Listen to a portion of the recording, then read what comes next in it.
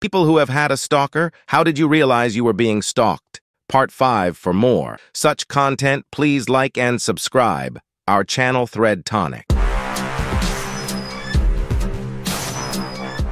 Account 1. So I was in like ninth or 10th grade, and I went to this small little punk show at a coffee shop a few towns over from where I lived. I can't remember who approached who first, but this girl and I started talking. She seemed cool. And at the end of the show, we exchanged numbers and then parted ways. This was before cell phones were popular and texting didn't exist. So it started off with her calling me every day on the house phone. Sometimes I'd be busy. I also played soccer year-round and played and trained like six coins seven days a week, and she'd get angry I'd be too busy to talk to her. Eventually, this got annoying, and since we had caller ID, I just started ignoring her calls. Then she started in with calling from blocked or different numbers. By then, I told her I wasn't interested and told her to kick rocks. She cried and told me she loved me, despite us only meeting once and talking on the phone a few times for probably less than an hour each time. Eventually, I told my parents to only answer calls from numbers they recognized, but this girl kept calling so much my parents changed our number. At that point, I thought I was finally done. W her. So flash forward a few weeks, and I'm taking a train into the city, and guess what? She just so happens to pop up on my train car. I was pissed and moved cars, and she just kept following me and crying it was so weird. She followed me off the train and said all she wanted to do was hang out with me. I told her to shove off, and if she didn't, I told her my parents and I had talked about getting the police involved. This really seemed to piss her off, but she finally walked off. Flash forward to summer and my summer job all through high school. I was a lifeguard. One day I walk into work and we have a new hire, Annie, you guessed it. It was this girl. I finally went to the police, but there wasn't much they could do.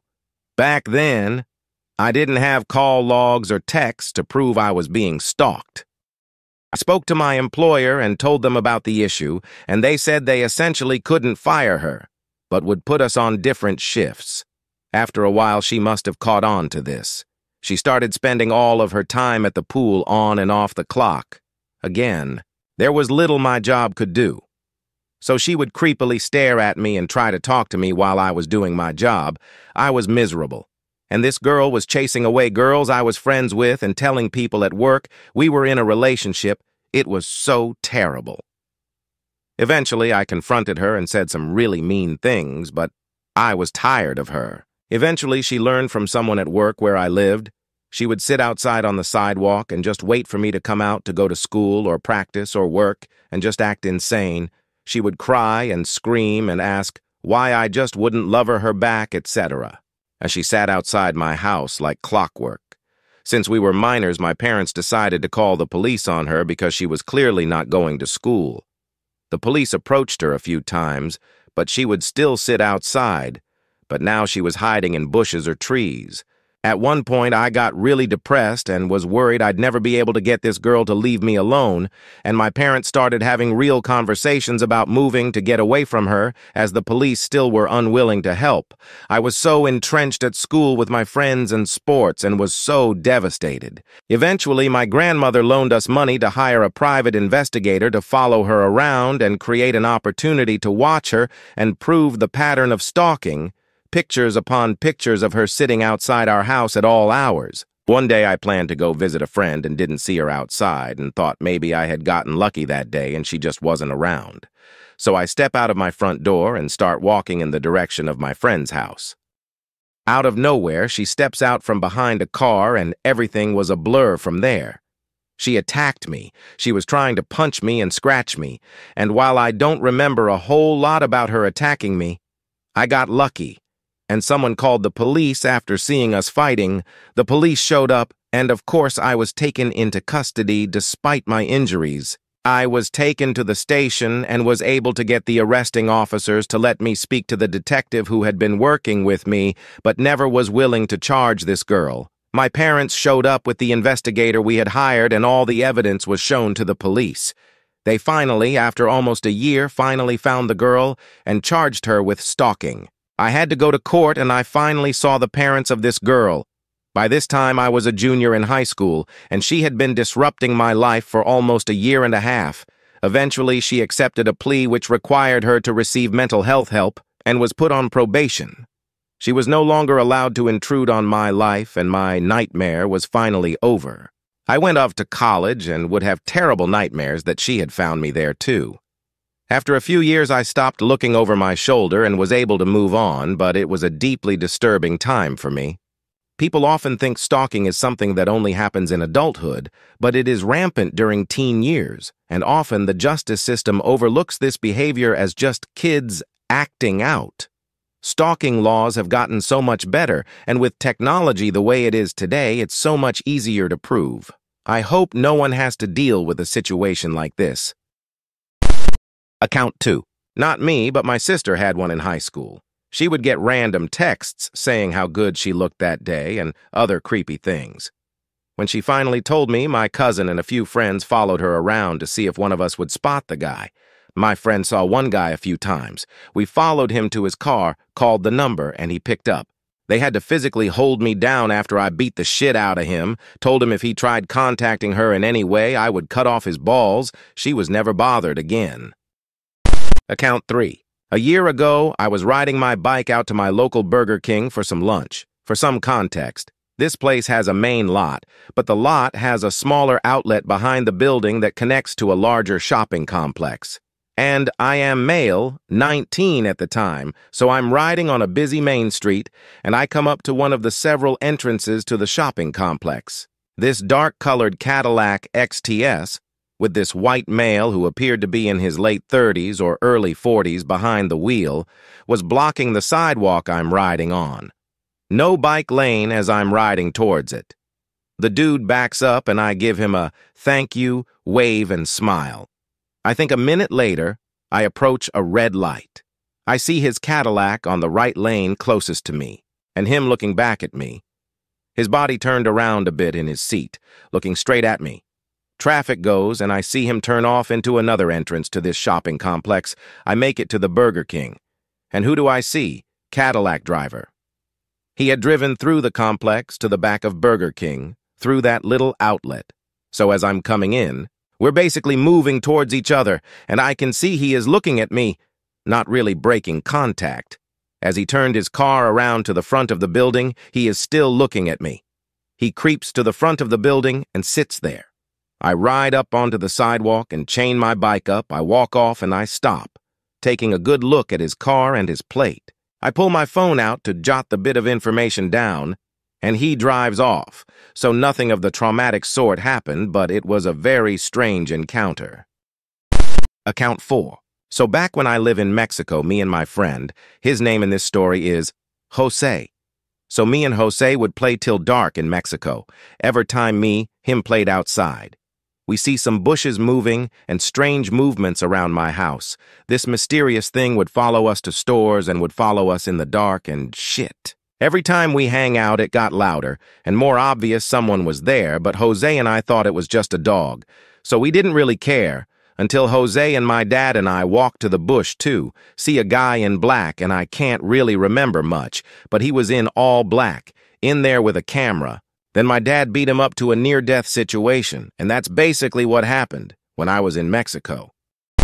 Account 5. I had this guy friend who would always tell me that he liked me during high school, but I was not interested in him. On the end of the year of my freshman year, he cornered me near at the library and confessed his feelings that he loved me, but I still was not interested in him. Within the rest of my years in high school, I kept my distance from him, but he seemed really normal after that having a girlfriend. Then a few years ago, I just broken up with my ex-boyfriend, we had a mutual friend, that told him about the breakup between me and my ex. He would message me in the middle of the night on Messenger, and I would just see and go back to sleep. Every time I checked on the message, he would respond without me messaging him. I had to message him back that said I had trauma with his advances in high school, and I really felt uncomfortable with him messaging in the middle of the night without me responding. If he really did respect me, I would block him, and he would never contact with me again. I never heard from him since, and hope that he never contacts me again. Account 6. He was schizophrenic and smelled bad, so nobody would partner with him in my physics class. I did cause I wanted to be nice. He was actually really smart and nice to talk to about the class, until he started following me, from school to my house, and trying to hold my hand in class and being suspiciously near my friends and I all the time. He also did the same thing, but escalated into something worse, to a girl my ex was friends with, told the school they did nothing about it because he hadn't actually done anything. Now we're both in college and departed. Thank God he goes to Yale majoring in physics and heard I was majoring in it too, so he wanted to see if I'd want to keep in touch. Told him to have a good summer and blocked him. Account 7. In my early 20s, I had the blessing of having not one, but two stalkers. Simultaneously, can't make this shit up. One was a nightmare, and one was a patient I took care of at the hospital. I'll tell the story of the creep as this one was more disturbing, Long post, but it's for my friends that enjoy a creepy experience. I broke up with the SO, and the next morning I had an unsigned letter on my car saying if I needed anyone to talk to, they were around. I was creeped out, but young and naive, so I threw the letter away and ignored it. Shortly after, I realized one day that the key to home that my SO gave back to me was missing. Again, I brushed it off because I always lose shit. ADD life, y'all. It started small, but I started to have bizarre events at my house. One day I came home, and my blinds upstairs were closed that I never close and the lights were on. I called the cops and was told I must have forgotten them. Fine. Then I came home and my jewelry boxes were moved onto a desk chair. Granted, all my shit is costume jewelry, but again called the cops. Was told it was probably my ex doing it. So it's fine, not fine. But I'm clearly being ignored here. One of the other disturbing events that occurred was that I noted that my spare car key was missing. I reported that as well, and was told by the cops I misplaced it. I drove out to the city one night for dinner and beers. About 25 men from where I lived, I never leave windows open in the city, because I'm not an idiot. When I went back to my car that evening, all of my windows and sunroof were open, with my spare key sitting on the front seat. Finally, I'm moving out of this damn place. I came home late from work and wanted to pack a few boxes before I went to bed. I go to the basement and notice immediately that it feels colder than usual. I look around the corner and the window is smashed with boxes propped up underneath so someone could let themselves in. Out, I freak the F out. I run upstairs to grab my phone to call 911 and see that my missing house key is sitting on my kitchen table. Took the cops a cool 45 men to finally get to my damn house. I moved to the city and all the creep shit stops. A few months later, I received a phone call from a police officer I knew from my old town. Now, get this. The police arrested a man in my new city for trying to break into an ATM machine. When he gets to the station, he starts ranting that he need to pay for his sex addiction and how he's been stalking not just me, but another girls in the neighborhood. So in addition to me, he was also doing the same shit to a young mother a few doors down. The cops say they have a bag of my belongings and ask if I want it back. It's a bunch of my undies and costume jewelry that my grandma gave me as a child, I then learned that I had actually worked with this asshat at a local grocery store a few years back when I was in college.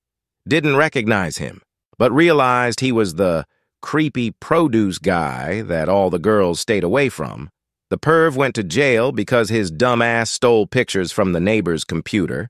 Since he took pictures that she had of her kids in a bathtub, they classified it as pornography and he got bigger charges against him. The police apologized to me for not believing my story, but it pisses me off that I was ignored simply for being a young female. Morale to the story. Always go with your gut feel about the creepy produce guy. Account 8. He was my delivery driver. Got my details from my parcels he was delivering to my home, found me on FB, and kept messaging me after repeated attempts of saying I'm not interested, I'm engaged. He made alter accounts after I blocked him, my fiance contacted his sister and told him to cut it out before he involves himself more. She basically said, Ah, shit, this isn't the first time. If he contacts her again, call the police. We need all the girls to report him to be able to stop him. Apparently, he's tore his family apart with his behavior and has had many angry men banging on their door. Account 9. I had a friend in high school who ended up going to the same town for college that I did. We were friends in college, too. When I started to date my girlfriend, all three of us became friends. And that's where things got a little weird. At Christmas time, the three of us exchanged gifts. We got him something small. He got me something small, but he got my wife airline tickets to go visit her sister. After school, I moved back to the town that I came from, along with my girlfriend. He stayed in the college town, which was about three hours away. At this point, we knew the guy was weird. He sent my wife a couple of weird poems with weird rantings on the backs of the poems. Then we started to get weird phone calls in middle of the night. He called my mom, my wife's parents, and friends of ours telling people that I had AIDS, I don't, and that I was gay, I'm not. Then he started driving down three hours from the college town to my town and parking across the street from my house. I called the cops multiple times. They told me there was nothing they can do unless he threatened to kill me. I called his dad. I found out that he was bipolar and his dad thought that he was just having an episode because he stopped taking his meds but that he was harmless. We were scared shitless. The last time I saw him, I left my house to go get a pizza and he was parked out front. At this point, I kept a baseball bat by my front door. I grabbed the bat and yelled, I'm going to fucking kill you. He started his truck and took off. I jumped in my car and chased him. While I was chasing him, I called 911. They told me to stop, dispatched cops to my house who were waiting for me when I got back. This wasn't the first time I had called, so they were familiar with what was going on.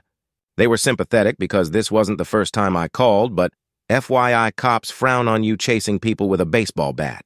Next time I heard about him, he had been arrested for going into a Walmart and throwing fake blood all over everything. He was arrested and taken to jail when he threatened to kill himself, so they transferred him to a mental facility. Then I started getting calls over and over from the mental facility. I called back and said one of your patients is calling me, and they told me that they couldn't confirm if he was even there. Eventually, the call stopped. Life went on. And year or two later, my girlfriend and I got engaged. We did all the wedding stuff, signed up for registries, etc. Odd, apparently he saw this information online because we started getting calls and stuff in the mail from him again. A year or so after we got married, I got a call from a friend telling me that he had died. I could not have been happier. Fuck that guy. Account 10. There was a girl at school in 8th or ninth grade. She was always known as the weeaboo kid. Always talked about anime and acted out as anime characters from time to time. Most people stayed away from her but were fine with her was just known as the weird kid from school. One day, out of nowhere, she approaches me at my locker and confesses her true feelings that were forcibly locked away for so long. Her words, not mine.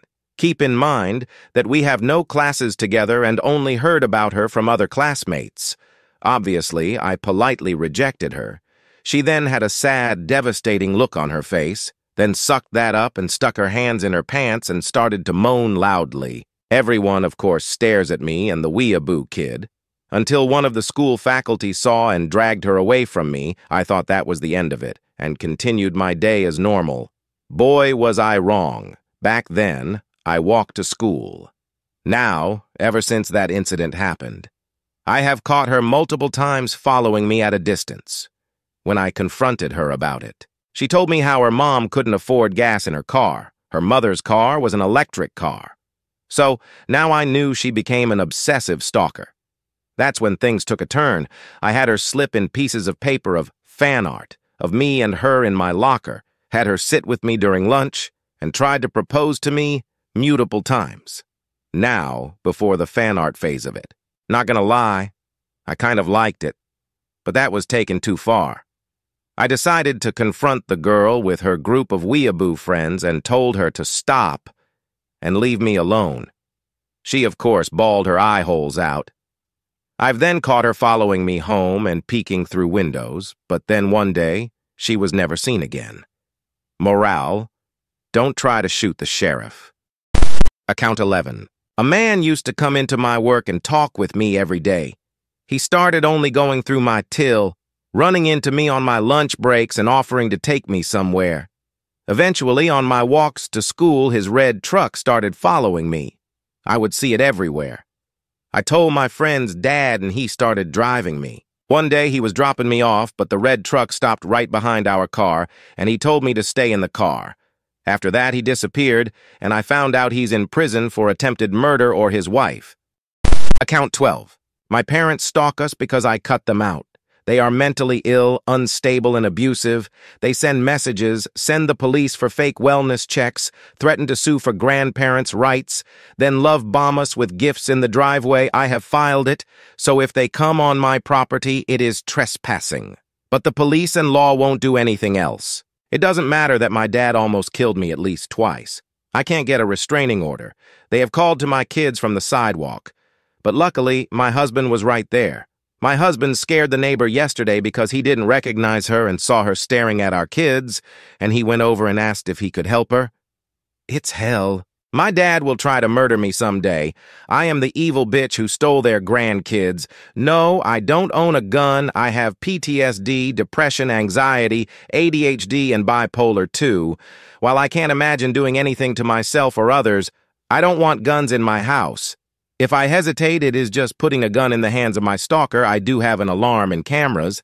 The police in my town is a joke. They are cracking down on distracted drivers and the homeless. But helping me is out of question.